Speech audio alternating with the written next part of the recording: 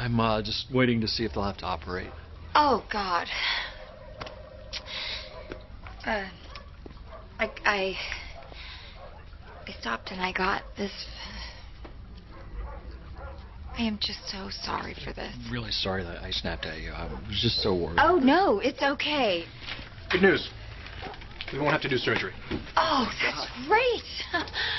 Uh, we've given Bongo something to help pass the earring. Uh, when he does, would you like us to retrieve it for you?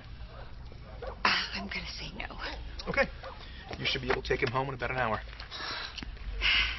Wow. You must be so relieved. I'm sorry. I was just really worried.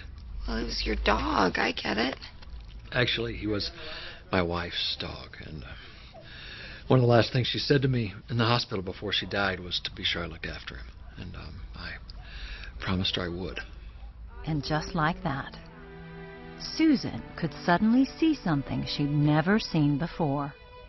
I uh, meant so much to her. Mike Delfino was still in love with his late wife. And if um, something had happened, I would have felt like I failed her. And I know that sounds stupid, but I, And she knew right then neither she nor Edie would be laying claim to his heart anytime soon. No, soon. it doesn't. Not at all. So she decided for now she could settle for just being his friend. For you. well, for Bongo. Give it to him.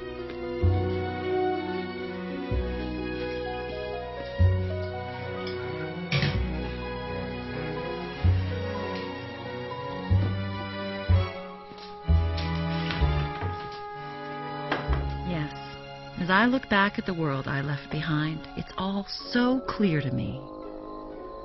The beauty that waits to be unveiled, the mysteries that long to be uncovered. But people so rarely stop to take a look. They just keep moving.